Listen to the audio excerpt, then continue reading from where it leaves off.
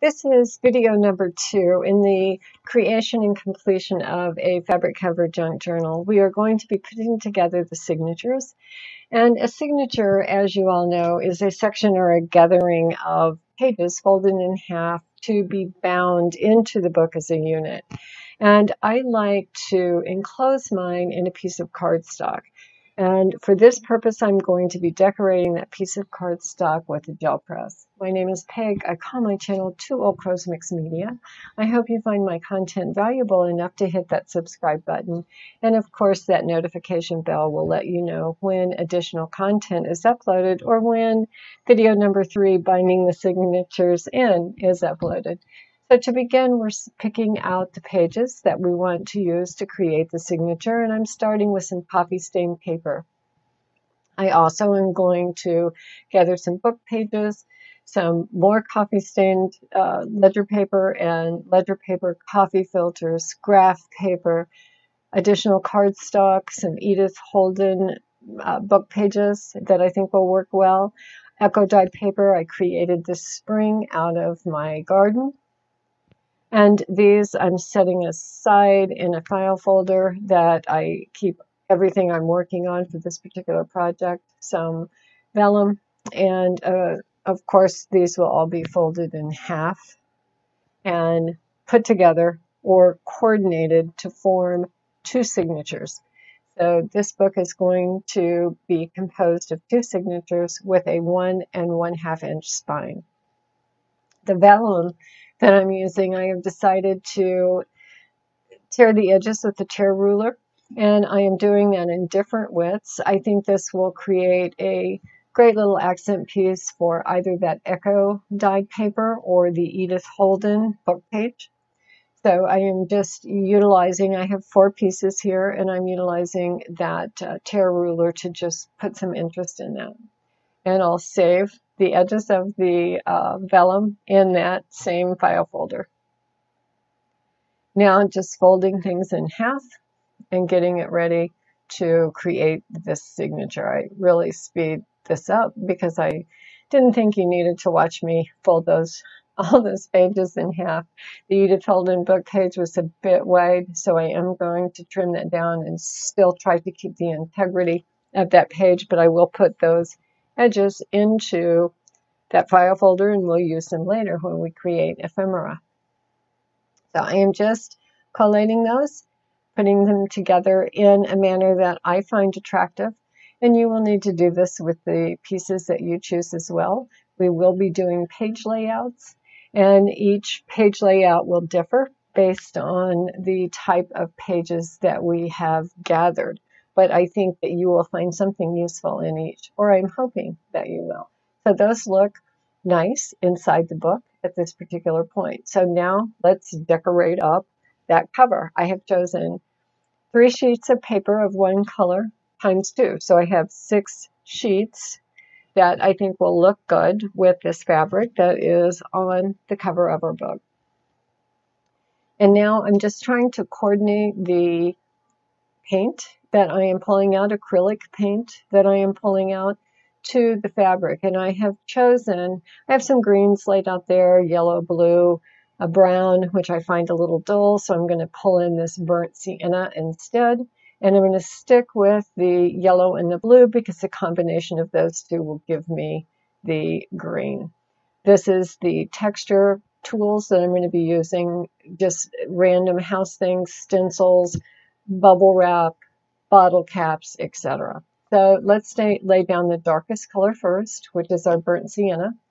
And I am choosing to do this one color at a time rather than lay all my colors down and let them dry in between layers and grab them in one pull. I do that simply because I'm impatient and I don't want to sit around and wait for the paint to dry. So this is the first pull with the burnt sienna on this uh, husk colored cardstock. And like I said before, I'm a little impatient, so I want to see how the blue looks. And I am going to just put some interest in that blue with this uh, dot texture plate from Carabelle and a piece of cardboard to create those lines.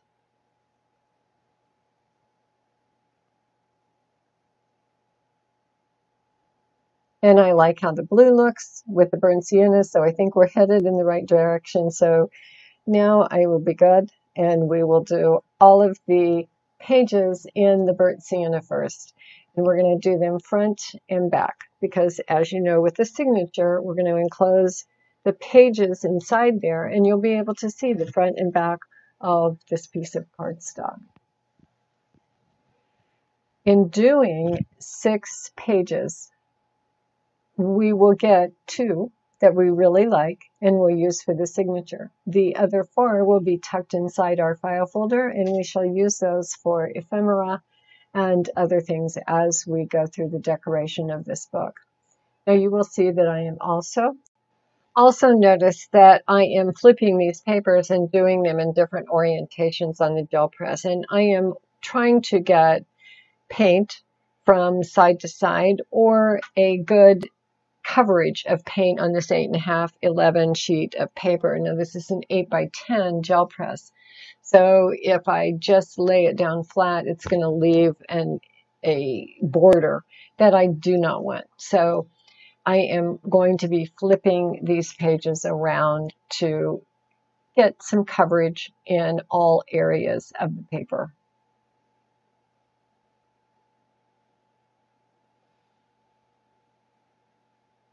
And I'm getting about two passes per uh, coating of paint. And you can see, you know, it's, I'm going back and getting it on the edges, I guess, if you will.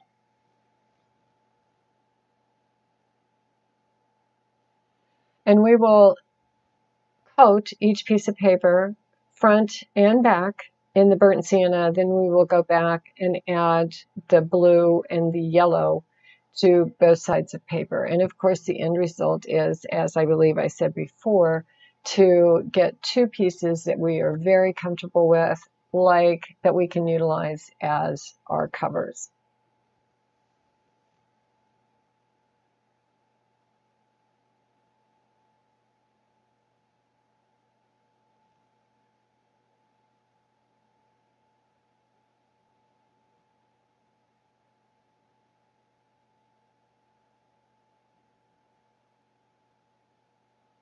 And now we're ready to start with the blue and yellow. And you can see as those two merge, get this nice uh, green that is very appropriate for what the cover or the fabric cover looks like. And as you, as I'm laying these down, I'm looking at the piece, determining where that burnt sienna is laying and kind of taking that page and pushing down where I want that ink to appear so I'm not doing just a flat pull.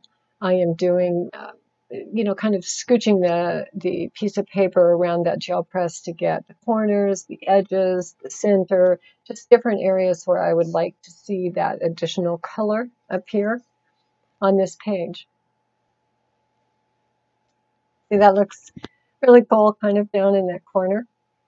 And then I push it up to the top side as well to kind of offset it. So just think about composition when you're when you're laying these down and what looks good to you.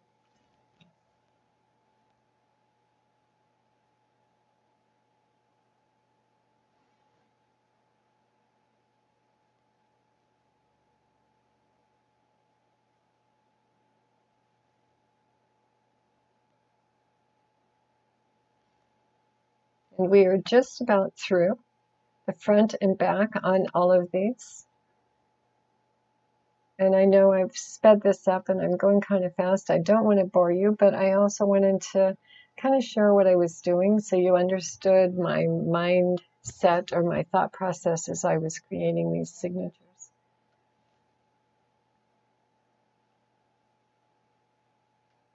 I'm just now kind of going through each one and I've set aside the ones that I like and I am bringing back in some vintage photo ink and kind of blending in the edges.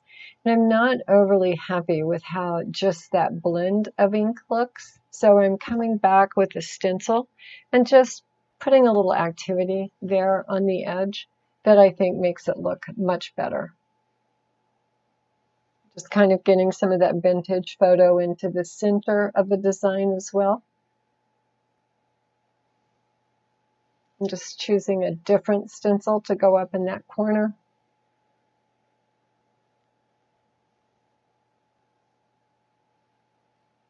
And this is for the two that I've chosen to go on the outside edge of my signatures. So once I get them all decorated, I'm going to fold them in half and trim the corners, round off those corners. And just check out how they how they fit, how they look on that signature that we put together earlier.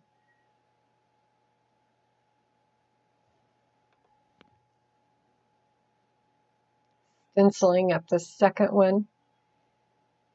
And of course, we'll round off those corners as well.